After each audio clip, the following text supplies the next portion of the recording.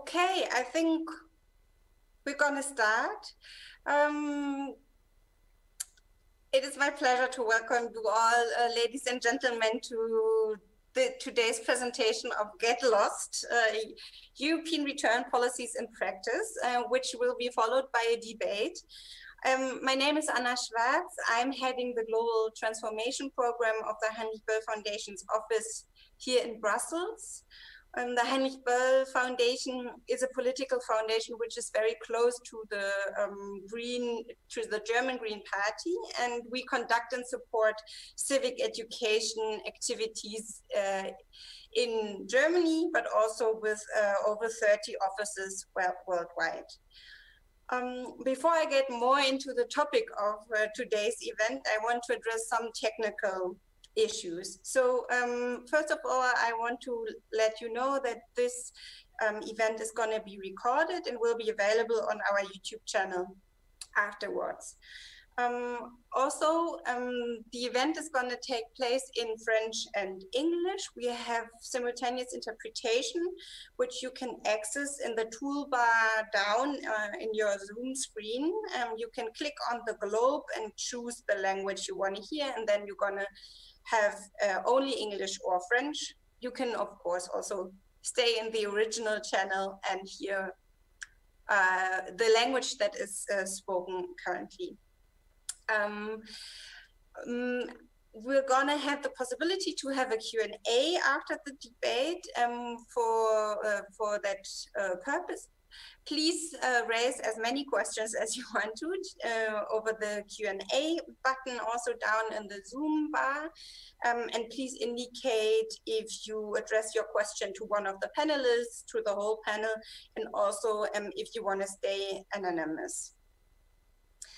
Um, to today's event. Uh, during the last uh, years, a more efficient return policy was very high on the agenda of the European Commission and also the European member states. I think that's fair to say. Um, for this purpose, um, several member states, for example, um, introduced programs that should give uh, incentives uh, to migrants to return voluntarily. Um, and in addition, there were several readmission agreements uh, with third states concluded. The new pact uh, on migration and asylum that was uh, just very recently um, published last week on the 23rd of September. Um, and I have to say that I think our event couldn't be uh, more timely due to that. Um, also puts a, a, focus on, on a more efficient return policy. Um, however, the fate of migrants that return voluntarily or are being returned um, is not taken into account that much from our point of view. Um, against this background, the Heinrich Böll Foundation decided to conduct a book project um, to shed light on the realities of people that return to their um, countries of origin. Um, and this book was first published in German already last year. And we're gonna uh, present the English version um, today. Um, it's also um, available online. We also have printed uh, versions of it as we thought to have a huge uh, public uh, physical event. but um, I'm very happy that we still have this event, even though very uh, digital and uh, not we, we cannot see each other um, in reality. So um, to get a little insight, um, who joins this event today, um, I prepared a little poll and I would like to ask um, our listeners and participants to, to uh, vote in this poll. Uh, you have two uh, questions that uh, should be visible um, in a second on your screen. And you can choose um, answering options. So the first question is, where are you currently based? Um, one is Northern Europe, one is Southern Europe, Eastern Europe, Western Europe, Brussels, or outside Europe.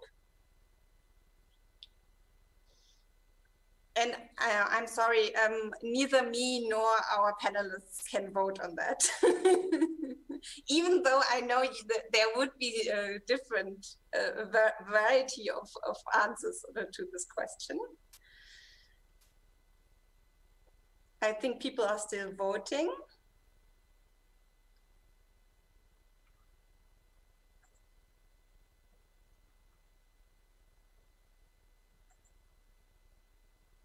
So as soon as the majority of people voted, um, we can go to the next question, question, I think.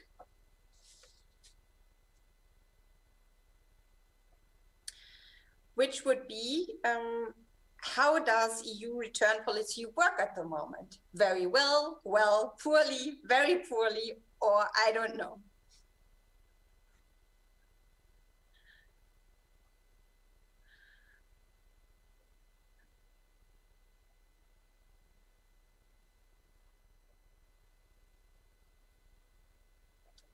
And also, as soon as everyone or a majority voted, um, we should see the results of the of of the poll anytime soon on our uh, screens.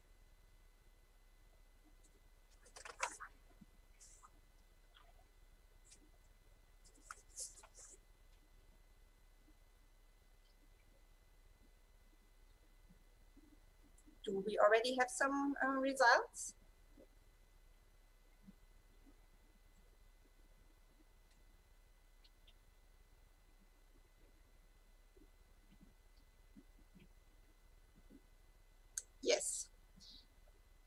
So, uh, many many of our uh, listeners think that uh, return EU return policy doesn't work that well at the moment.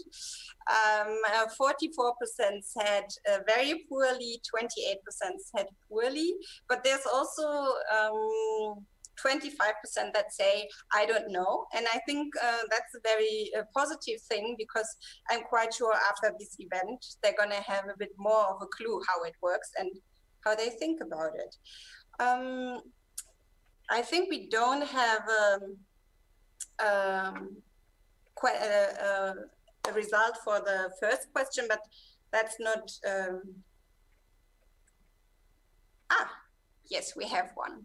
So most people are from Brussels that uh, logged in today, but um, there are also 20% um, that uh, are based outside you, which I find very nice that you took the time to also um, join the meeting.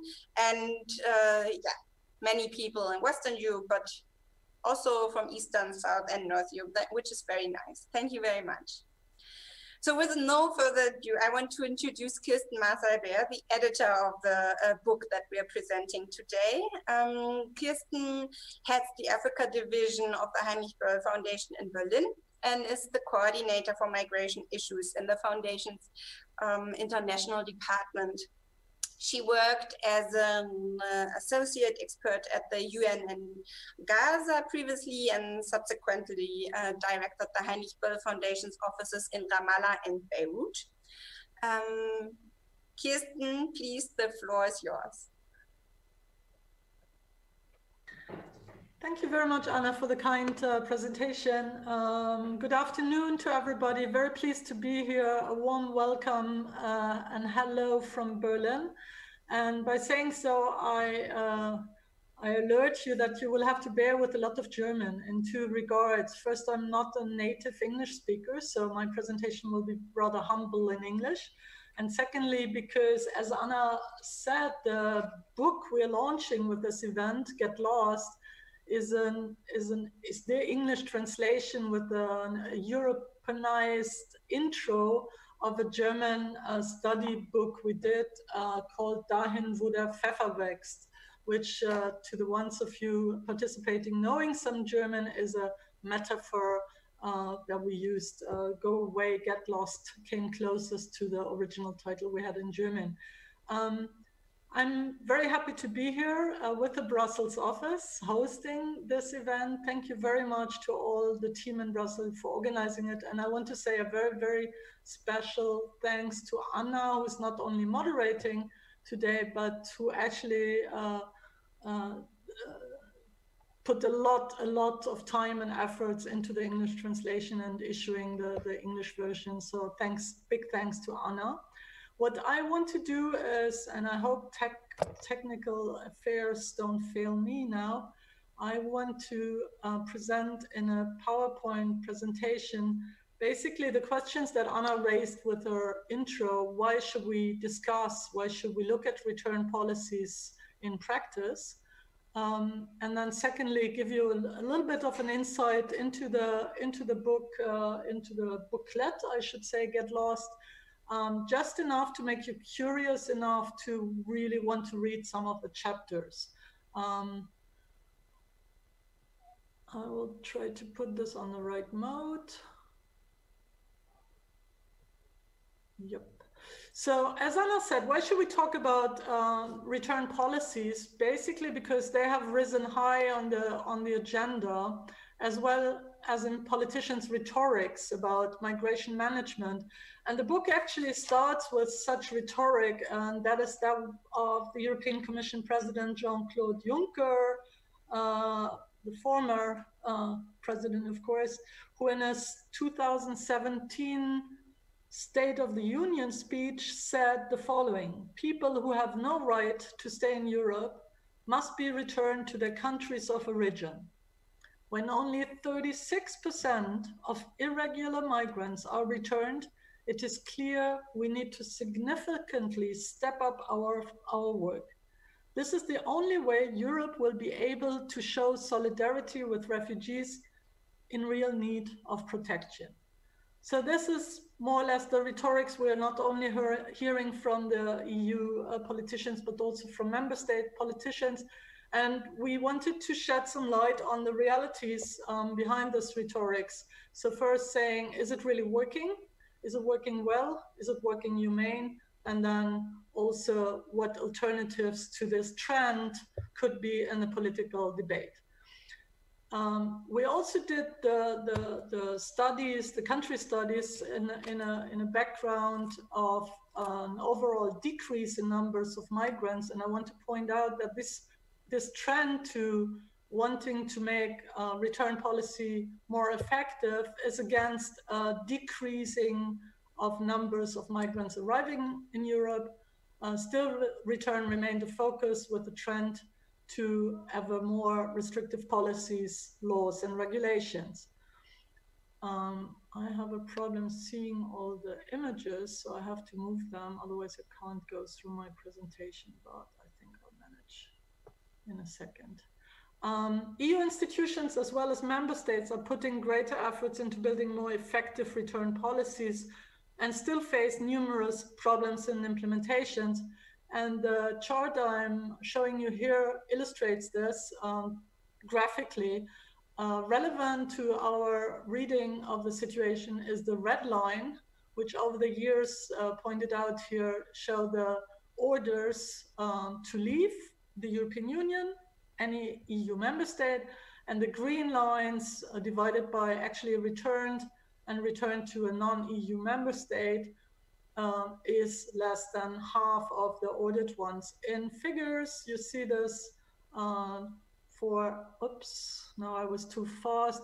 We had about close to 500,000 um, issued uh, orders to leave the European Union, whereas we had 198,000 um, actually returned people. This included the voluntary return people um, which is which which states that less than 42% were actually returned. So it is factually not working for a variety of reasons. I don't want to discuss at this point. Um, but it is also questionable whether this should be um, only be made more effective or whether there's alternatives to deportations and this kind of voluntary returns. This chart shows you uh, briefly uh, the countries people are returned to, Ukraine ranking the highest for the years 2018 and 2019, followed by Albania, Morocco, Georgia, Russia, Algeria, Iraq, and so on. Um, recognition rates uh, of first instance, the top 20 citizenships uh, with, the, with the highest uh, recognition rates are uh, illustrated on this uh, Eurostat uh, picture. top, top of the top 20 is Venezuela with a recognition rate at first instance only of 96%. 85% for Syria, Eritreans are recognized in most cases 81%. Afghanistan is uh, further down to 54%. And then I also put some numbers. Uh, Germany ranking very high and granting protection status, as you know, with 116,000 for that counts for 39% of the total in Europe. Um, current situation 2020 of course due to the pandemic uh, covid-19 we saw that uh, we saw a decrease in returns enforced returns obviously also involuntary returns. Um, there was a kind of stalemate for some time. The first half of 2020 clearly shows uh, uh, a decrease of numbers of returns. However and i wanted to point this out we also saw a, a, an increase of pushbacks uh, kind kind of tolerated, uh, especially with the Greek practice of uh, taking uh, uh, taking migrants who were on the Greek islands into boats and, and, pushing them out in the sea. So this is also kind of illegal return that was practiced throughout 2020, kind of tolerated. we will discuss this, I'm sure, later. And then since mid-July 2020, several EU member states resumed returns some were assisted by Frontex, and Frontex is taking up this role um, uh, more and more as we see. The, uh, the new pact on migration and asylum, and I also mentioned it, was just issued. This event is very, uh, uh, it's only shortly after 23rd of September issuing of the pact, big press conference, lots of reactions. We're seeing lots of think tank papers appearing, commentaries, etc. I just wanted to point out uh, the, the pact with regards to return policies, our issue today uh, has a new uh, mechanism introduced. That's one of the few really big news in the, in the pact as commentaries see it. So I call it the new kid on the block, which is the return sponsorship.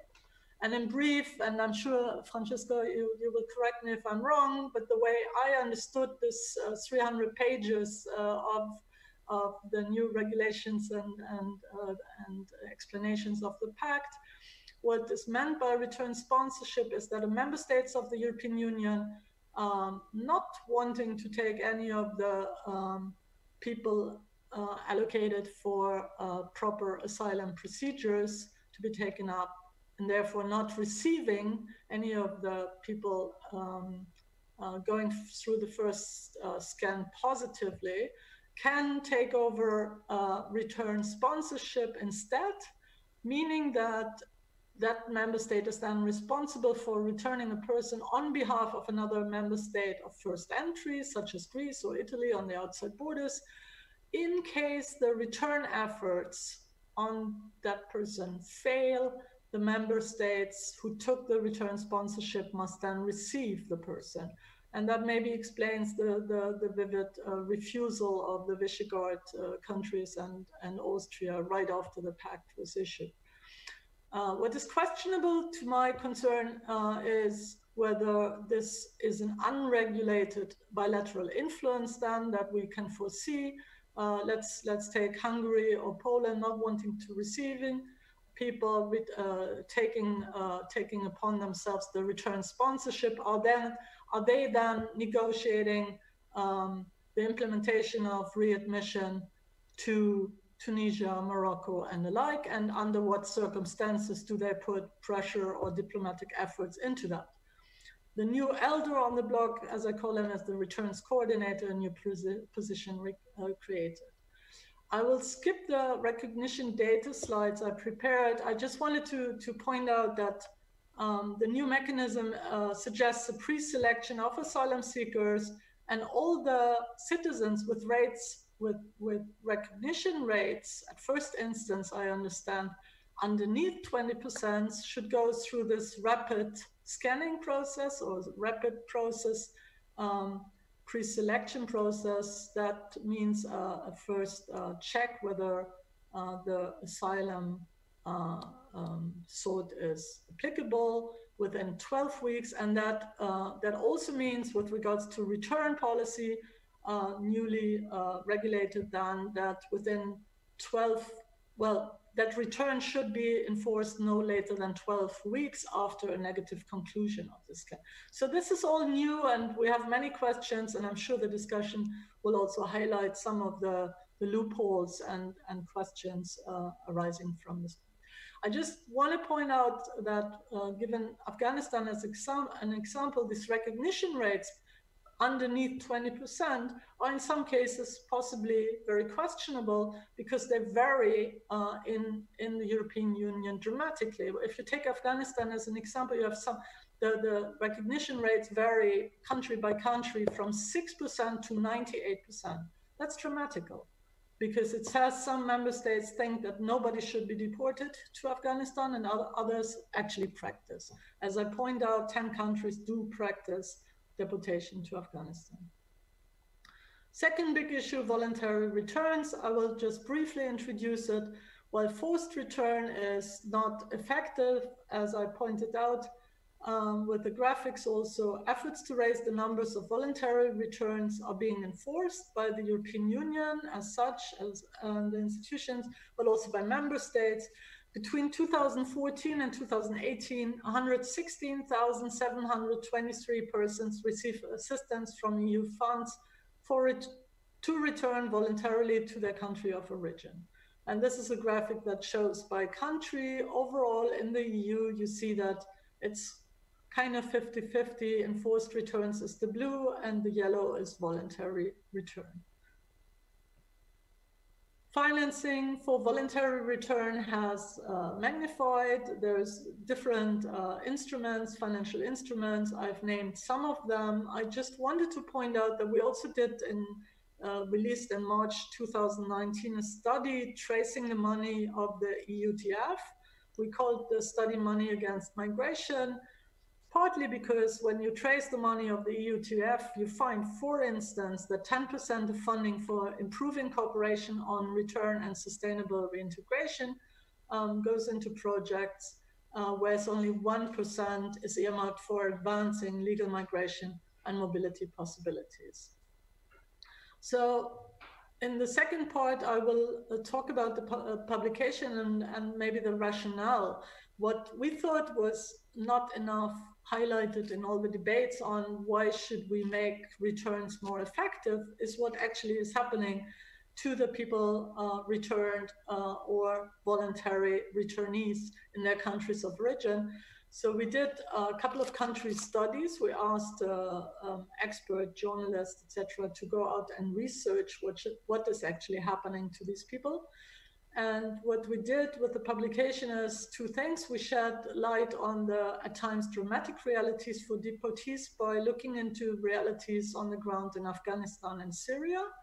And we also exemplary uh, picked uh, Tunisia, Senegal, and Kosovo as case studies or country studies to uh, give insights on the real realities of reintegration efforts.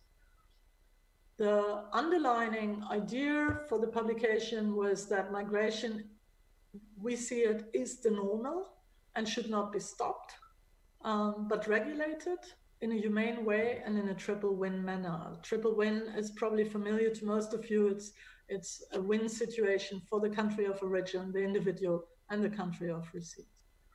So having said that, uh, what we what we say after having done these country studies uh, is a clear no to forced returns into unsafe situations. And the um, studies both on Afghanistan and Syria show that situation for returnees are unsafe. I know this will be questioned, um, but um, it is questioned, of course, by many of the of the member states. Uh, um, analyses of the situation, we uh, asked an, uh, an, expert on Afghanistan, uh, Friederike Stahlmann, a, German national, to do um, an analysis of the situation for us. And I just want to briefly point out on the Afghanistan chapter that the author, Friederike, was able to compile information on 47 of the 512 men in all cases from Afghanistan who were deported from Germany until February 2019. To the extent that this was possible for her, the information gathered by, were by means of standardized questionnaires and was augmented by interviews conducted with the contact persons as well as deportees themselves. She, she of course had great difficulties reaching out from Germany to returnees because they were living in hiding and, and were and, and interviews would have endangered there. So she worked through contact people and, and support groups. And she uh, then interviewed quite a lot of people who had been deported uh, I just want to point out on, on some examples for uh, what these returnees went through. In one case, the Taliban learned within a week that a person had returned. He was taken captive and physically abused for three days as punishment for his flight and to force him into their ranks. He was only able to escape because an acquaintance who had just recently joined the Taliban let him go away. These dangers, unfortunately, our daily reality. The 23 deportees who were interviewed and were still in the country two months later and were able to provide information, therefore, reported 34 violent incidents and threats of violence against them or their families due to their return, even though 21 of these 23 mostly remained in hiding. So, this is facts and figures uh, we, we, that made us say we must debate a clear no to forced returns into such situations where the individual cannot make a living because he or she has to live in hiding, uh, dangers are exposed, etc. There's great discussions about Syria, at least in Germany. I know that in some other member states as well, whether safe returns to Syria would be possible in the near future our author is clearly illustrating how this is an illusion and we should uh, we should uh, say a clear no to returns to Syria as well. Um, with regards to reintegration programs, uh, we say they are good. It's it's good they exist. Um, it is much better to assist people who want to voluntarily return to their countries than not to do that. But the current programs we've we've looked into with the country studies definitely can need improvements. The main questions uh, we raised after reviewing the country reports were um, whether the current practice in many of the member states really states that um, these returns are, are actually voluntary, because very often information policies um, give as alternatives to the voluntary and assisted return, uh, first return or legal, so we doubt that it's really voluntary. And the current reintegration efforts uh, seem not very suitable in many cases for meeting the needs of the individual in the country of origin, neither the structural challenges of return. And if Anna indicates that I have another two, three minutes, I would, uh, I would uh, put some um, examples for, um, for Tunisia, but I don't know if my time is up. So please, Anna, help me indicating time. If you can make a very brief comment on Tunisia, that would be more than welcome to kick off the discussion. Super. I'll, I'll try to be uh, two, three minutes. Um, so everybody knows that Tunisia went through, uh, witnessed not only a revolution uh, from within, um, but also went through a, a dramatic political transition. Uh, with regards to, to migration, we, uh, we uh, put into the Tunisia chapter we put some uh, figures that indicate that even though Tunisia, Tunisia had achieved the transition, the number of Tunisians clandestinely getting onto boats to make the passage to Lampedusa or Sicily has had recently uh, increased. While Italy registered only 569 Tunisians who entered the country illegally in 2015 and only 820 in 2016, the number jumped to 6,151 in 2017 and again to over 6,000 in 2018. So what does that tell us? It tells us for, for reintegration programs that we're still, and after the political transition, that we're we're up against structural problems that are that are very much within the economic situation in Tunisia. So the fact that six years after the Arab Spring, the number of irregular migrants, so-called irregular migrants from Tunisia jumped up and has since remained at an elevated level we primarily want to attribute to the economic situation, and Wajdi will uh, will uh, amplify on that later. Um, economically, the vast majority of Tunisians are worse off today than under the dictatorship. While the economy, after two meager years, showed a renewed growth of 1.9% in 2017 and even 2.8% in 2018, real wages have fallen drastically from the equivalent of 290 euros on average in 2011, the year of the revolution, to 223 euros in 2017. So 223 euros a wage makes you dream of earning more money, working in Italy in the crops or, or elsewhere. Um, we asked our author to go to more remote areas in Tunisia, and he went. He actually picked Kasserine, which is 300 kilometers southwest of Tunisia. Um, and he looked. He, he met a lot of youth uh, in in this town of Kasserine and interviewed them. And uh, and he, the author noted the following in his in the in the chapter on Tunisia. For many youth of Kasserine, the alternatives to ISIS and Al Qaeda, the two jihadist uh, groups uh, uh, working in this area, both of which have their Tunisian branches in the border region with Algeria, and to twiddling their thumbs in the forgotten province, goes by the name of Haraga. This is what the people are called who board the boats on the coast to get to Europe. Haraga is a word derived from the Arabic word for burn, Haraga are those who burn their personal documents so as not to be identifiable. So this tells you a bit about um, why it is difficult to uh, implement uh, return, but it also tells you what reintegration programs are up against in structural structural conditions economically. So how do you put a person returning from Italy or returning from Germany into Tunisia, into a, into a labor market which is uh, which is providing the facts and figures I just illustrated. So I hope this gives some food for thought and debate. And thank you very much and I hope I didn't exceed the time too much. Thank you very much, Kirsten. I, am I'm, I'm very sure that that lays a very good base for our debate. Um, I want to um, introduce now uh, our three other panelists of today. I'm very happy that you had the time to discuss with us today.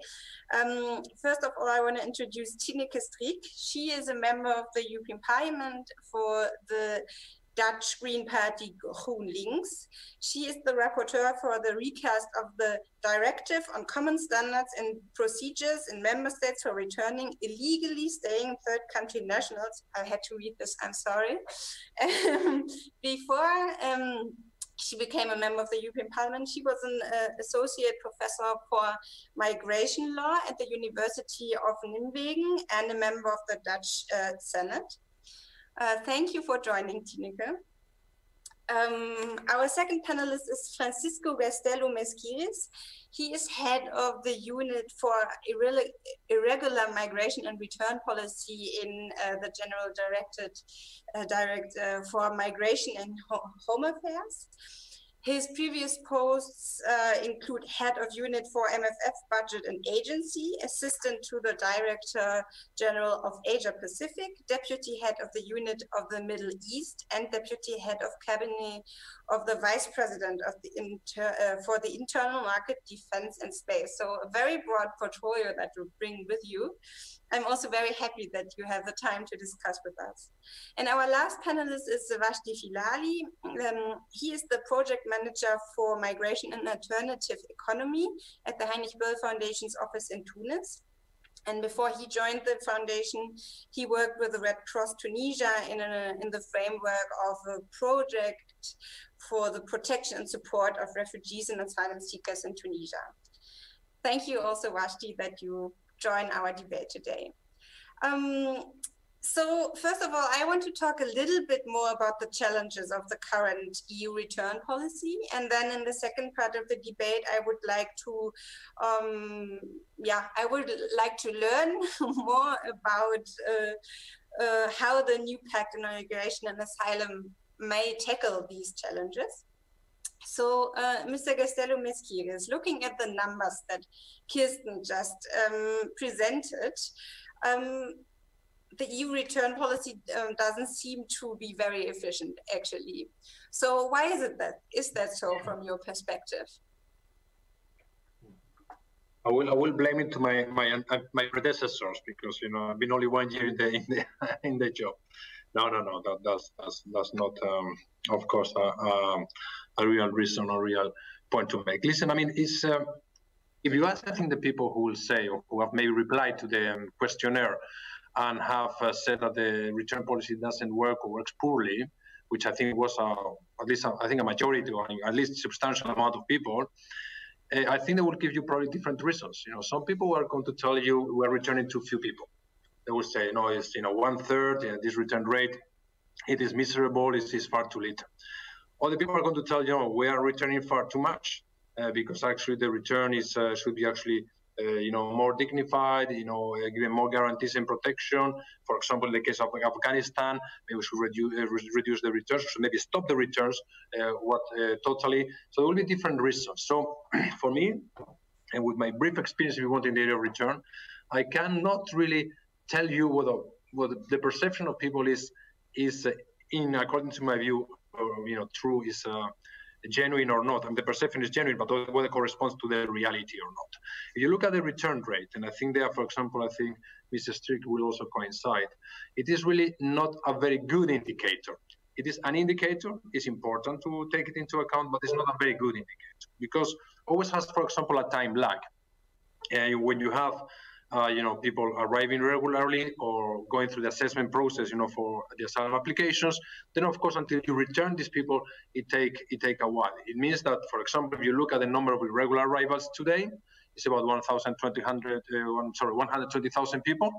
If you look, we're returning 190,000 people. Then you would say, okay, actually, return rate according to the number of irregular arrivals is, is huge. It's, it's over 100%. So it is a fantastic success. We are in Europe, for example. You know, so uh, with this, the only thing I'm, I'm I'm I'm trying to say is that the return rate is just one indicator. It is far from perfect, has to be taken into account, but it's not the most important one. Is return uh, could return policy be improved? Certainly can be improved uh, substantially. And and as uh, we know, we have two two main limitations in my view. One of them is how the return procedures work in the in the European Union and how effective uh, you know, effective. When I say effective, means in two in two ways. Effective in terms of efficiency and optimization of the procedures. The other one in terms of the quality of the procedures. So for me, an effective return is a is a quality return. This as well a well processed uh, and, and procedure return. So. Um, if you look at that, this is one of the limitations, you know, how to improve legislation, how to improve the implementation of legislation in a way that the loopholes and gaps are minimized so that member states can really return with full guarantee and full protection of all uh, rights and principles that need to be guaranteed, in particular the principle of non-refoulement, which is, for example, now at the stake when we discuss the Afghanistan uh, case. But also, you have the problem, of course, of uh, readmission in cooperation with third countries. And this as well the other uh, important leg, if you want, in this equation. Uh, cooperation with third countries is you know, sometimes very good if you look at the Balkan countries, the Eastern European countries, or the Central Asian countries, but it is uh, quite poor when you look, for example, at many of the African uh, countries, for example, or the North African countries, with variety or you know, a variable, you want, uh, capacity of return uh, from member state to member state as well. So that's why I think the pact we have made a very big effort in, in terms of trying to improve and give a big boost you want to the return policy. Uh, as you know, uh, you have mentioned, I think, uh, um, yeah, Mrs. Maas-Albert has mentioned a number of things, but I will just have a very quick overview, and with this I will finish. But uh, uh, this, this, this first introduction, we are proposing a legal framework that should be a bit better or fitter for purpose and fully coherent with the asylum system. So that's what we're trying to do in full respect of fundamental rights. Uh, Mrs. Strik is the rapporteur for the return directive. I believe that out of these negotiations, we have a return directive that will be more effective and better function, more functional and better working. Um, then we are clearly putting more emphasis than ever on voluntary returns, not only as part of the return directive, but also as part of the overall pact strategy. Uh, you know that we are going to launch, and this is linked to one of the points, uh, one of the points that Kirsten made, is that we are going to develop a strategy, implementation strategy for returns and reintegration, for voluntary returns and reintegration.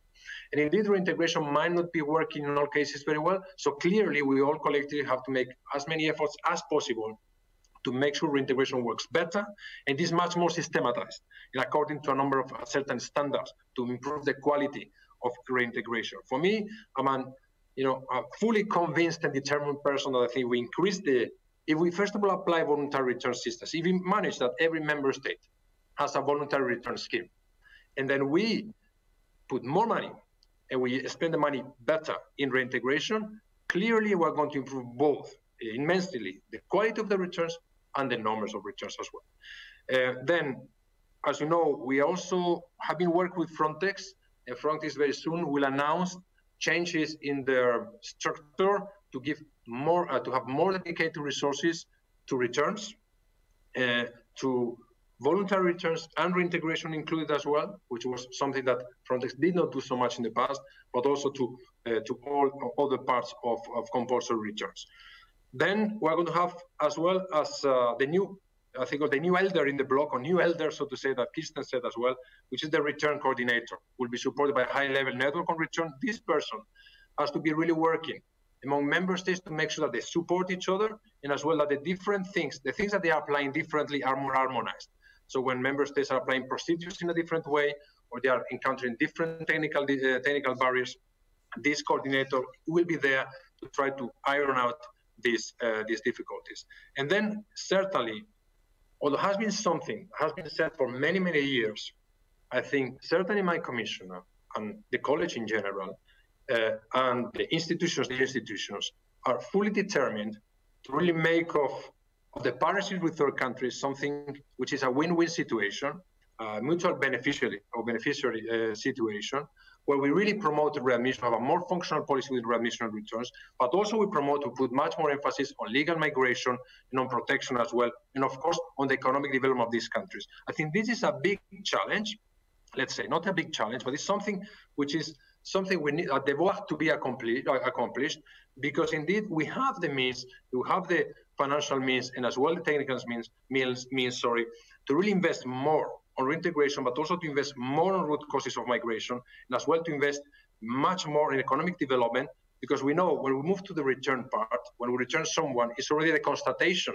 that the, the system has not been well managed, obviously. So it is clear that the number of returns over time should be not increased but reduced in a way as a consequence of more legal migration channels and better, of course, uh, partnerships with their with their countries. So that's what I wanted to say. Just one word on Tunisia, and then I finish, because I think was one point of this first uh, this introductory part of the of the conversation. Uh, their readmission agreement with Tunisia is, is still there. It's going to remain a priority for the Commission and for the European Union. Clearly, until now, because COVID-19 situation as well as the political situation of, in Tunisia was not possible to continue with the negotiations. Clearly, there we would like to have a full readmission agreement uh, with Tunisia that will make our readmission policy with Tunisia uh, much more functional. But I think it is very important that in COVID-19 context, we take fully into account as well the impact of this pandemic in the pandemic, sorry, in the on these uh, countries as well, and we have we take you know fully into account that you know in that situation, I think we have to be especially careful um, diplomatic in our contacts with our countries. Then I think later we can discuss a little bit about these elements. I think that Kirsten has explained, such as the return sponsorship and other uh, issues. I think she has detailed because I think we'll have ample time for this. Thank you. We're going to come back to that later. Yeah. Um, but now I also want to uh, give this question to Tineke actually. So what do you see as the main challenges of the uh, of the current EU uh, return policy? Uh, I, I imagine that it might be uh, different challenges that you see. Okay. thanks for this invitation and also thanks Kristin for this presentation of your of your research findings. I really think it's uh, it's it's a rich contribution to the negotiations we're going to enter now on the recast returns directive, but also on the other proposals of the pact. Um, yes, this is actually the key question, right? I mean, um, I, I, think there's a common ground for uh, uh, thinking that we want to have, if we have return procedures, that they become more effective in line with the procedural safeguards and uh, dignity and uh, safety, etc., etc. And then the question indeed is, why is it not effective? Well, I'm, I'm very happy to hear from Mr. Gastulo uh, Mesquides that uh, that he also says it's not only about return rates as, as, as the main criteria to see if it's effective or not. It has a lot more to do with quality of the returns, and that what what I mean with safety, dignity, but also sustainability. Uh, I mean, you can uh, pushbacks is also a kind of return, indeed, what you say, Kristin, an illegal return. And uh, uh, apart from the fact that it's violating basic human rights, such as the right to asylum, uh, it's also not sustainable because people will try to re-enter, re-enter, and this can also happen to people who uh, got a return decision on the territory, uh, but who don't want to go back and who are, for instance, forcibly returned or who are returned to a transit country because this is also what is happening often especially when it's more difficult or complicated to send someone back to the country of origin. And we have a deal with turkey and we have uh, deals with other transit countries. And um, in the end uh, that uh, well that that could lead to uh, lack of access to basic needs and rights over there but also as an incentive to try to come back to uh, europe again so i think that's very important and uh, as the level of voluntariness uh, is really also decisive for the way people are returned and, and the preparedness of people to return um, I think that we see a lot of problem issues with the new recast proposal that is now on the negotiation table. And what makes this whole negotiation uh, especially difficult is that we lack a motivation by the Commission why we need this recast proposal. Exactly what just been said by Mr. Castillo, we don't know why it's not effective, but that makes it so difficult to assess the new proposals. Is the new proposal then the right direction? Will it make returns more effective? And, and uh, we, we have uh, problematized this also because, uh, well, we just simply lack evidence. Uh, the Commission is obliged to come up with implementation reports every three years on how member states apply the directive. It has not been done since 2014. Uh, there was political pressure also from the Dutch government, I know that, uh, uh, to amend the directive. But then in 2014, it was the commission that said, look, there's no need to come up with an amending uh, uh, proposal because the problems that we see with returns are not laying in the returns directive, but in more the cooperation with uh, countries of origin. So now we end up with a, a, a, legislative proposal, which I think is a result of political pressure from the member states, but does it lead us to, to, to something or not? Or will it make even things worse? Uh, I'm concerned about the last because, um, as we already said, that voluntary departure, it also uh, uh, appears from, from studies that are being held, is the best one. You see that in the current recast proposal, um, the possibilities for voluntary departure are really decreasing and actually in some cases really make uh, impossible because uh, you know people need a voluntary departure term for instance and normally it's it's a term of 30 days but the proposal obliges member states to refrain from that period in case of a risk of absconding. And the, the proposal also foresees in a list of criteria, 16 criteria, that says if one of those criteria apply, then there's a risk of absconding, and then you should refrain from voluntary departure. But if you look at the criteria, they are very broadly defined. It's like if you have entered the country irregularly, if you have no formal place of residence, if you have no financial resources. I mean, almost all of these uh, criteria are applicable, especially to rejected asylum seekers. Um, that, that's what makes me really worrying, and that's one of my objectives, really to um, to limit that scope and to safeguard the possibility for voluntary uh, departure.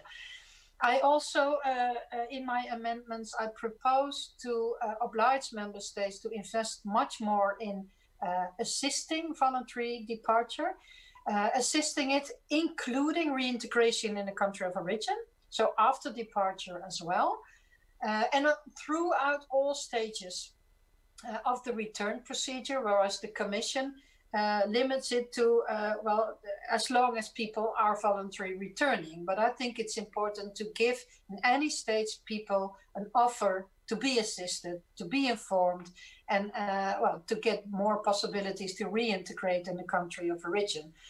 Um, I also propose to reinforce the monitoring uh, obligations because, indeed, on the one hand, the monitoring now is limited to the removal uh, process itself, so only during the return.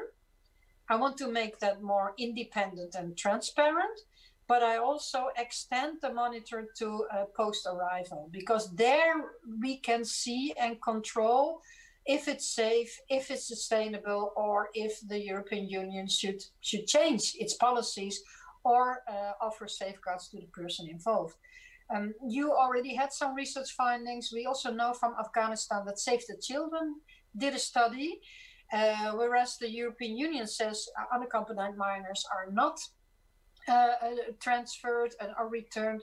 They find that they are returned, and also other children as part of families or who had turned 18 after a long stay in, in, in Europe, they really, really have a lot of problems after their return um, and then nothing happens you know so so this is really something that we should take care of that our responsibility includes the post arrival situations um, yes I, think so so that's i can say more but uh, i can also leave it for for the rest of the discussion so we need to first find out what are the real problem issues and and can we uh, make sure that if we think of more efficiency that we keep up the procedural safeguards and the dignity of people. And maybe one last sentence on the safety. Indeed, it all also shows how important it is that we get a more common appreciation of the situation in certain countries in order to uh, make sure that uh, that this uh, non-refoulement principle is being uh, complied with uh, throughout Europe. Thank you. Thank you very much, Tineke. Um, one of the big advantages that we have as a foundation are our foreign offices, actually, because uh, all of you already touched upon the question of reintegration. And this is actually what I want to uh, ask Wajdi now to uh, tell us a bit more about um, for the Tunisian case. So, how um, what happens to, to, to people that are returned to Tunisia or that return voluntarily because they are not there's many people that return also voluntarily. Merci beaucoup, Anna, pour l'invitation et merci. Thank you for your invitation and thank you for asking this question. Now, trying to reply to your question, I'd like to uh, tackle the uh, support granted by the government to uh, returnees, and I'd like to talk about uh, the reintegration programs and the support given by the European Commission. Now, when the migrant arrives in uh, Tunisia, uh, he or she will be uh, uh taken care of at uh, at the airport. And perhaps that person will spend a few days in uh, prison. Perhaps that person will have to pay a fine, or perhaps that person will be questioned by the uh, police, and then, of course, uh, the individual will be uh, released.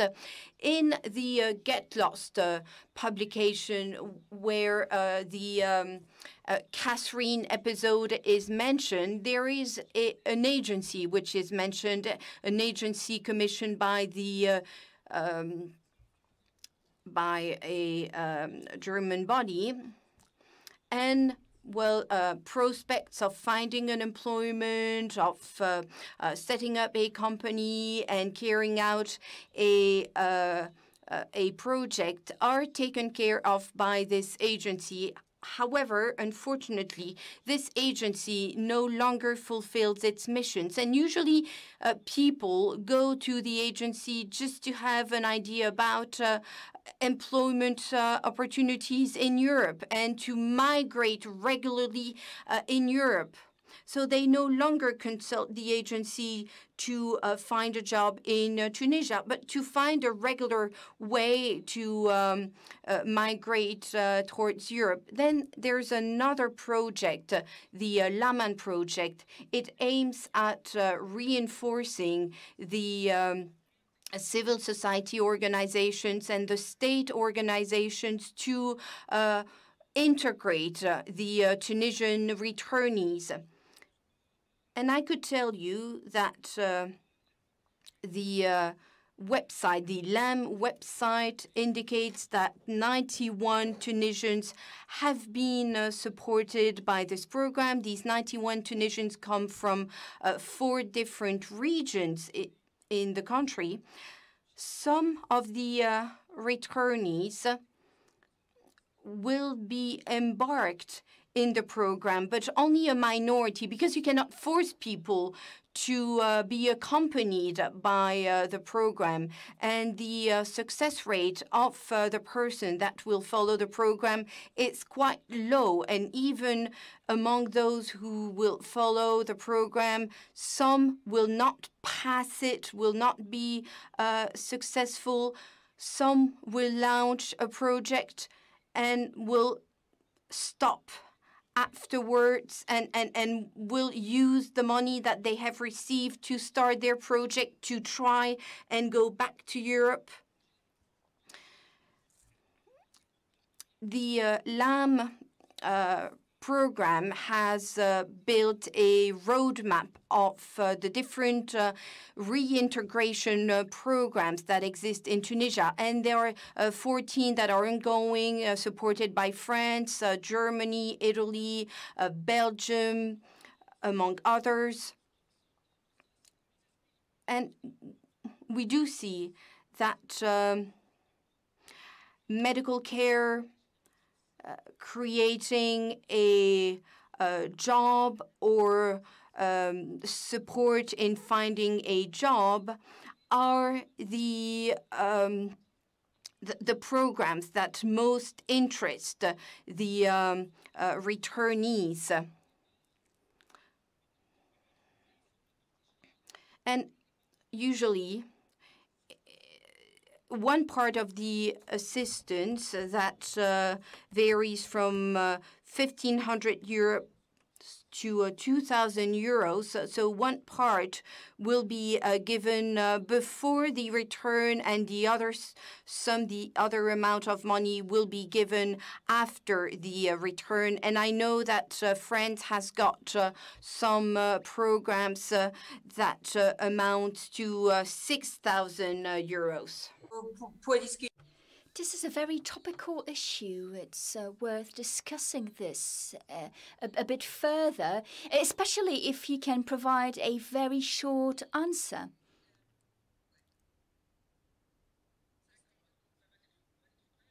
Yes, I'll make it in a nutshell, promise. Let's say that the vast majority of migrants will feel like they're starting from scratch again. They used to have projects and high hopes when leaving Tunisia for Europe and coming back. They have to start from scratch uh, again their economical situation is very unstable because they've just returned. Some of them would like to come back to Europe uh, again because uh, they haven't had the time to plan their return. And one specific point to clarify here is the fact that uh, the opportunity to give some time to the migrant to, to get organized before uh, returning to the country of origin might be a, a, good idea. So give them the opportunity, give them some time uh, to uh, make a few arrangements. A study was made interviewing uh, a sample of Tunisian returnees, um, highlighted the fact that uh, most of the time, uh, big number of returnees uh, uh, were signified uh, the decision on the very day they had to leave the country. So they had no time at all,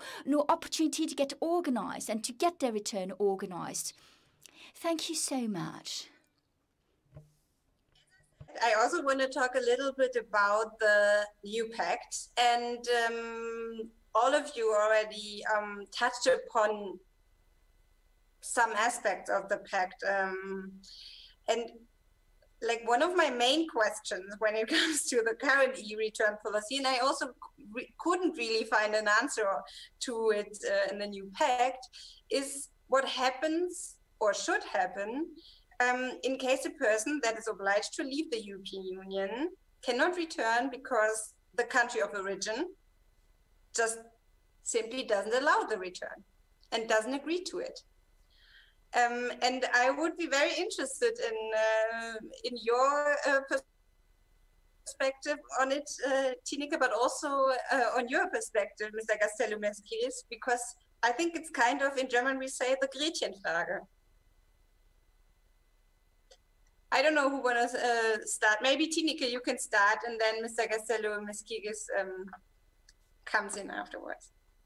Yeah, what needs to happen with them, I, I think um, two points. Uh, I, I, think it's important indeed um, for member states to really focus on the country of origin. So first to have a careful asylum procedure. If if we talk about asylum seekers, eh, there are also other uh, uh, migrants. And then, I, I mean, in that sense, I, I'm really disappointed in the new pact proposal because there the pressure will still be on the border regions, uh, the border countries, and that will also affect the quality of the asylum uh, procedure and decision. I mean, there we will need a fair sharing of responsibility to get a real good asylum procedure and decision that doesn't take too long. I think all these elements are important if you have a good motivated decision, it can also motivate people, convince people better to want to return uh, after uh, um, uh, not too long time. But you're talking about the preparedness of the country itself, of course, the country of origin. Let's focus indeed on that. So uh, stop trying to, to conclude readmission agreements with transit countries um, and then really try to overcome the hurdles with the countries of origin. Because if someone really has no right to stay in the European Union, it's his or her right to re-enter his own country, of course. This is something, this is an international obligation or an international right for the citizen of a country, but it's very difficult to enforce. And therefore, I think it's very important to really enter into equal partnerships with those countries, uh, not in the way that is often done by uh, more in a, with a demanding tone and approach. If you saw the last frame, the, the, the partnership framework of the European Commission from 2016, where it actually took the approach we're not going to uh, to think of more for more, eh? so trying to seduce states, but for less to less. So say that you have a duty to do so, to cooperate, and otherwise we will use all our instruments, tools, incentives that we have, including development aid. I think this is not the right direction. And you see this conditionality approach uh, emerging also, for instance, in the NDICI, the, the new fund for uh, developing countries or third countries. Um, you see it in the visa regulation saying that only if you cooperate on migration, then you are allowed to, to get visa for your citizens. I think we should stop that approach. Actually, Johansson also said so. She said during the, the, the presentation, we should not threat the countries, but really genuinely cooperate with them, take into account what they need. Uh, but I don't see that reflected in, in, in the proposals and in, in the direction that the Commission and the Member States take. So we really should reconsider our approach. Um, and um, in that sense, also um, acknowledge to a certain extent that some countries of origin benefit from migration, including irregular migration, as people uh, have the migrants who are here uh, use the remittances also in order to support their family over there. I mean, let's acknowledge it. And uh, if they are starting to cooperate with uh, uh, readmission of preventing irregular migration, they will also affect their uh, own position and interest as well. So therefore, I think it's so important to enter the discussions with them on regular migration, uh, more mobility, opportunities for studies, etc., etc. I think that would be much more fruitful in order to get their uh, cooperation. Now there's really a completely distrust uh, uh, towards the EU, I think, uh, and that should be broken up if uh, if it comes, but not all migrants are helped with this because this is more long term and, and and and a lot needs to be done. At the moment, we're really facing uh, migrants who simply don't have an opportunity to to leave uh, the European Union, and I think therefore we also should be honest and uh, say that if people cannot return, that uh, and that's outside of their own control that there should be a solution in terms of regularizing, uh, giving them the chance to to get a legal residence and to to to start integrating in in, in the European Union. I think both parallel processes should uh, should be reinforced.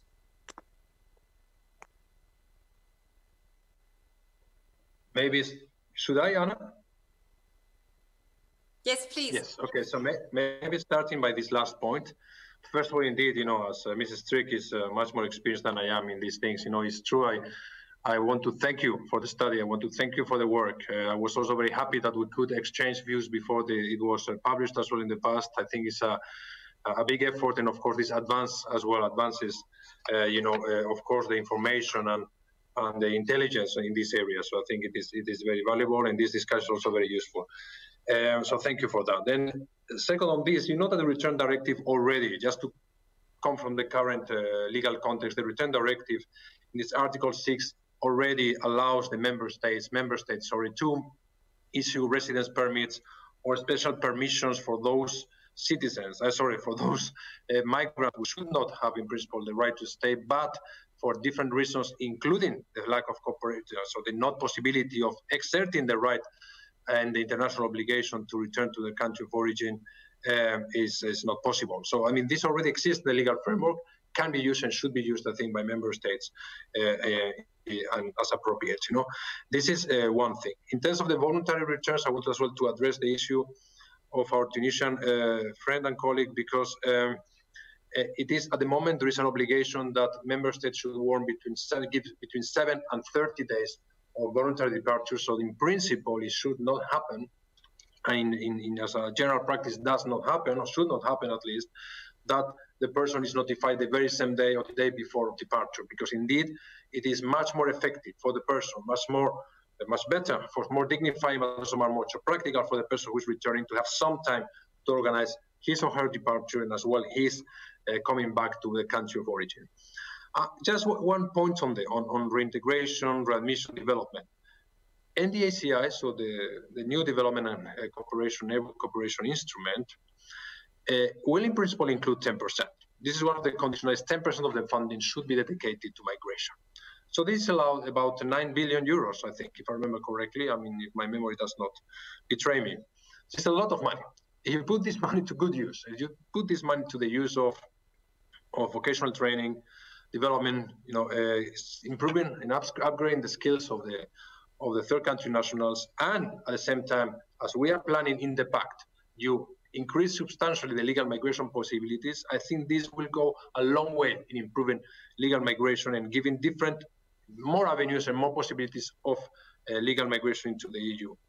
But indeed, what we need to do is to really tackle irregular migration because yes, uh, we can of course uh, what uh, Mrs. Strik was saying about uh, you know seeing how to maybe regularize or maybe look at the situation of irregular stay in third country nationals in the European Union is something that does not belong to the Commission to do, something that can be debated between member states and, and the Parliament uh, as well. But the fact that someone is already regularly staying in the EU already puts this this person in a vulnerable situation, which I think has to be avoided by by all means. So I think for me, as I think Mrs. Strik as well and my, our friend as well in Tunisia said, we need we need to maximize the legal migration uh, channels. Um, we have, I don't want, of course, to anticipate here the negotiation that we have with the Parliament on the return directive, because, but addressing a little bit one of the things that Mrs. Strik as well said, of course, we are welcome, we're looking forward to the final results of the um, of the report that has been presented by Mrs. Strik. And of course, if there are areas for improvement, such as the voluntary departure period that she mentioned, uh, of course, we're more than welcome to, to, to look at it and to negotiate with them and to improve the proposal, because obviously the proposal, when the Commission presents a proposal, we believe it is perfect, but usually it's not the case. And usually what it is, of course, is improved through the negotiating uh, uh process. This, on the contrary, I would say, uh, I think in the pact we have made a very, very big effort, and certainly I know it's very much in the in my commissioner's mind as well uh, that to establish this real mutually beneficial and equal partnership with third countries where return and readmission will be one of the issues, has to be one of the issues as well. Because indeed, if we want to give good protection uh, for people who deserve protection, we also need to address, of course, return and readmission. It's part of the comprehensive approach. But it is clear that a priority will be to have a comprehensive partnership with them on economic areas, trade areas, development matters, development matters, sorry, as well as other migration matters, including legal migration and return and readmission. Because we have also to recognize that in some cases, cooperation from the third country, so the possibility of uh, accepting this right, Mrs. Strik said, is extremely, extremely limited. In some cases, it's nullified and there's zero cooperation from the third country. This needs to be changed only and can only be changed on the basis of these mutual partnerships. One last thing concerning the reintegration programs. Indeed, I think there's a large margin for improvement. I think we have already advanced a lot, made good progress, and I think there are successes which have been scored already in the area of reintegration. But I think there is why we want to systematize a little bit more integration. This will be, I'm not sure about the monitoring part that Mrs. Strik said, because monitoring implies the follow-up of a person, the following of a person. And maybe our experience is that not every individual wants to be monitored, so to say, in the post-arrival situation. I think reintegration is a much more encompassing concept, which actually brings a certain level of monitoring to a certain level, of course, of accompanying the person. And as Mrs. Strik said, and I take her point here as well, is that we need to make sure that reintegration is not only applied to voluntary returns, but also to forced returns. And that's the intention of the Commission in the context of the pact. It's already the case today, but it's going to be amplify in, in, the context of the past. There are many more things, many more more things, Anna, but I leave it there because I see that I'm getting you impatient. Thank you. Thank you. uh, I was just uh, thinking that uh, Kirsten uh, might also uh, have an opinion on this question. And also I see that Tineke uh, raises her hand and wants to react to it again. So I would like to, to first give Kirsten the floor and then Tineke. I always have an opinion if I'm asked for it. Uh, of course, I, I was uh, first to say I'm I'm I'm sometimes wondering because if we are all so much in favor for more legal pathways, for more opportunities for legal legal migration, why don't we do it?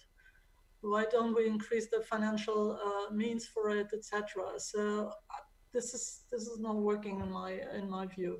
I think Tineke Strik indicated uh, the very right mix um, of approach that that would make things change to a better possibly. Um, you, you you say acknowledge interests. I think that's very crucial because both the individual and Wajdi can talk hours i'm sure about this and and the country of origin. They have legitimate interests but from la Valletta on we never we never uh, opened up spaces and, and time to listen to this interests and to recognize them. Um, we all know that remittances are far overreaching uh, ODA, but we're not acknowledging those. So in, in these negotiations, uh, be they bilateral or European Union vis-a-vis -vis the country of origin, are we actually giving enough incentives? We're just using the old corporation money, while we know it's not enough as an incentive. So I think Tineke, speaking about uh, regularization, also uh, visa issues um, could be interesting incentives to achieve Francisco, Francisco better cooperation by um, these countries. But I think we, we, we need a totally new mindset of cooperation towards this cooperation and also different rhetorics. I was witnessing La Valletta press conference and we were talking on completely different terms, um, African leaders and, and European leaders. And it, it, gave me the clear impression that we don't even spend time to listen to each other. Um, secondly, um, I think that the pact, and this is my last sentence, sorry, Anna, uh, the pact is moving away from this alternatives to the current return policies um, uh, that Tineke mentioned so well. I think it is making things worse. If we only look at the pilot uh, that is planned for Lesbos, it, we, we, we are allowing now something that the Greeks have been doing, tolerated by the European Union. We're taking people's freedoms. This has not gone through in Germany when Seehofer, our Minister of Interior, suggested we should do this at the borders, uh, neither at the airports. And now we're allowing the Greeks to, um, to and, and the European Union is, is allowing itself to create an extraterritorial space of first reception. It's only for 12 days, but it remains to be proven that it's only for 12 days, and then an, an additional 12 days for for uh, uh, uh, returning people.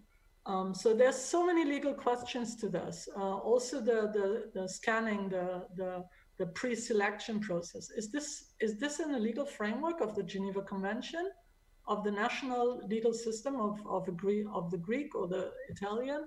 I think we have to look deep into the what what has come up with the pact to to really say it is within our legal obligations and commitments or it is not.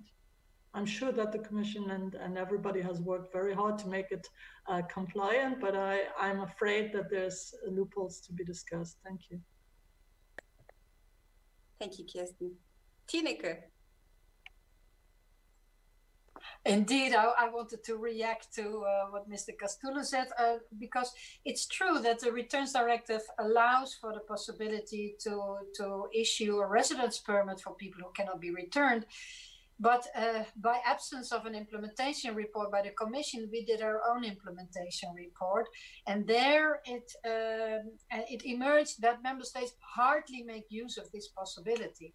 So that raises the question: Shall we just leave it to the discretion of the member states, or should we just come up with a common policy on, on, on what to do with people who don't have an alternative to return to? Because actually the whole idea of, of the return directive is also that we will try to uh, reduce the situation that people are uh, in a limbo situation. Either they're legal here or they're illegal and then they need to return. So that also creates a responsibility to find solutions for people who cannot escape from this limbo situation. And uh, I know this is a very sensitive issue for the member states. They really want to decide on their own, you know, whether or not to regularize. But the Commission could start by by starting a discussion on this, and uh, it, because it's also, I think, one of the elements to combat uh, irregularly, irregularly, uh, irregular stay. um, yeah, regarding legal channels, uh, yeah, it's what it's it's exactly what Kristen Kristen Kristen said. I think okay, if everyone wants it, why don't we make legislation on that?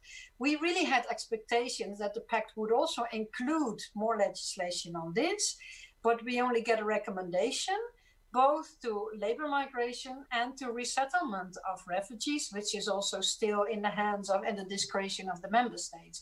This is really a missed opportunity, I think and what I would also, I'm very much favoring is right now people uh, can uh, come to the European Union mostly in an irregular way because there are hardly any legal channels. And if they decide to return, there's no possibility to come back ever. And uh, especially also if you get a re entry ban. I think it's very important that we find smart ways to improve the mobility.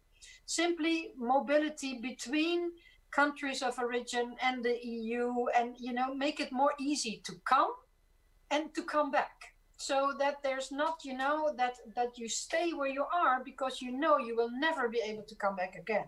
I think that would also lead to a triple win situation because people uh, have more exchanges in businesses in study in whatever they take it with them and you know it, it it's enriching for everyone uh, and but this is completely lacking, so we need to find uh, new ways for that. My last uh, remark also is on this conditionality. It's really in the policies, and that's not the same as comprehensiveness. That's a completely different uh, approach. Con- conditionality is that we decide, we use our incentives, our leverage, to let them do what we want and this is the opposite from comprehensiveness, I think.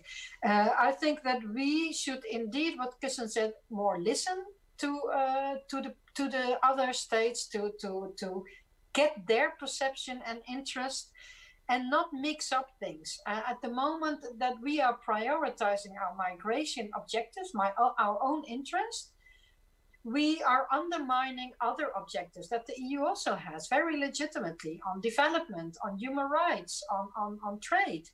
Uh, and, and these all have their, their own aims, and we should not make them dependent on to what extent uh, regions cooperate on, on our own interest. I mean, in the end, we would lose then all, uh, also with our own external policies. Thank you. Thank you very much. I want to read one comment that we received in the Q&A. Um, it's from a Tunisian um, participant um, who says, and I'm going to speak in, uh, I'm going to read it in French. Um, les migrants refusent d'habiter. Usually, migrants do not want to go back in their country because they do not trust their country of origin reinforcing voluntary uh, returns will only deviate our glance from the real problems. Sorry, this question, but it's a good one. So, um, as our time is really running out and we haven't talked about return partnerships, we haven't really talked about readmission agreements, um, I would still ask for a last short round um, of kind of last words for, for today. I'm sure we're going to continue this, this, this discussion. Um, and I would like to start with Wajdi, and I would really like to ask you to be, like every one of you, very on point. Merci, merci Anna. Alors en fait, si j'avais une note. Well, on a final note, I'd like to stress that Tunisia is the first country that cooperates with Italy on uh, forced return before Nigeria and Egypt. Back in 2019, 1,045 people were expelled, and out of them, 56 took a, a, chartering aircraft. And for the year 2020, and in spite of the uh, pandemic, seven flights with 85 uh, passengers uh, expelled to uh, Tunisia. The other speakers mentioned the uh, mobility partnerships and the uh, readmission programs. Now, I'd like to mention that Tunisia is uh,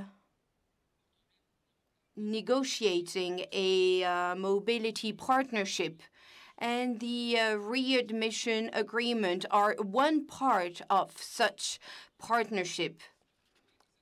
There are indeed agreements between Tunisia and some European countries, and very often these agreements are very simple. They are um, arrangements that uh, try to avoid any parliamentary scrutiny, and because uh, by doing so, the uh, document uh, will not be published. So it's a lack of transparency for the people seeking to understand the content of, of such an agreement. Uh, more flexibility is granted to Tunisia when it comes to uh, uh, Schengen visas, but only for some categories of people, for qualified workers that uh, would be allowed to uh, leave the country. However, this would uh, deprive Tunisia of uh, uh highly qualified and uh, skilled uh, workers that would be who would be admitted within the Schengen area. Now, what civil society would like to see is to have other categories of people admitted through the uh, circular migration uh, patterns for seasonal workers, for instance. Now, I do see that Anna is stressing out, so I will I will stop here and thank you for your participation.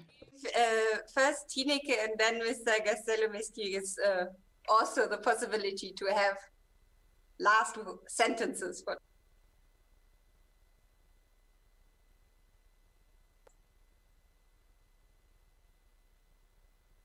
But Sorry, it, it's me, huh? Okay. Yeah, it's you. I was just still playing with the language interpretation. Um, yeah, very briefly, I, what I think is very important that we take a more rational approach, that we really look at uh, what works, what doesn't work, uh, and that we that we are not let ourselves being hostage by political firm rhetorics or whatever, because you know it's it's it's return policies is often uh, uh, um, well uh, subjected to this politicization. It doesn't bring us nowhere. so let's really look what works or not, but then based on proportionality for the third country for the migrant. So uh, no repression if not needed, based on human dignity and based on uh, um, on equal partnership uh, with other countries. Uh, but that evidence based also means do impact assessments, uh, do monitoring, uh, do it also not only on the returns, but also on our cooperation with third countries. Uh, if we conclude a deal, do a human rights impact assessment before, because it can mean that refugees get stuck in third countries, for instance, without access to protection. So, evidence based, rational, but uh, uh, departing from the principle of based on the principle of human rights and human dignity and proportionality. Thank you. Thank you very much. Um, Mr. Gastello-Mesquites, there's still one question that just came in, which is directed to you. I don't know if you want to answer it in your last uh, comment or if we should send it to you and then maybe you can uh, answer the question afterwards. Like up to you. Up to you. So then uh, we're going to transfer the question to you. Okay, very good just you know uh, two or three sentences um, to really i think in this debate is also important i think we fully agree of course on having a, rational debate on this you know as depolluted as possible from you know uh, you know banal rhetorics. This is very clear. Uh, from the commission side um, just to, for example to um, to give a clarification on the use of visa of, of visa facilitation for example. In the new proposal for what we call visa leverage the two possibilities exist to give better visa treatment to third country nationals and third countries if cooperation on returns is, is good, satisfactory, or worse, if it is very poor. So, you know, both possibilities exist there. Somehow, it's only the negative side is looked at, uh, you know, from what I hear as well, sometimes being reported. But both possibilities exist. So clearly the Commission is going to listen and has always listened to third countries. I think there's no other uh, you know, institution. I think that the European Union has been listening to third countries constantly. We have now a new African strategy. We are going to work closely, closely with third countries. So conditionality does not exist in, in the ACI. The only thing that exists is really that in the area of mutual partnerships, we will listen to them, but they should also listen to us a little bit. Okay, so it is a mutual listening as well, listening to her to their interest and them listening to our interest uh, as well. So, um, and just the last sentence, because I know we're running out of time.